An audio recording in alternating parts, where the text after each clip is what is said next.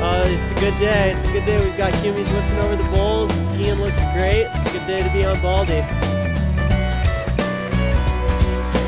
It's St. Patty's Day. Ah, the luck of the Irish. Come and join us. The snow's great. We just got about, I don't know, you know, about eight inches of snow here.